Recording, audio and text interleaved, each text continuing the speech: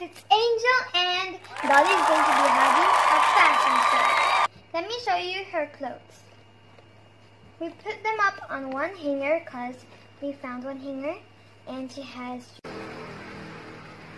there are different colors. Let's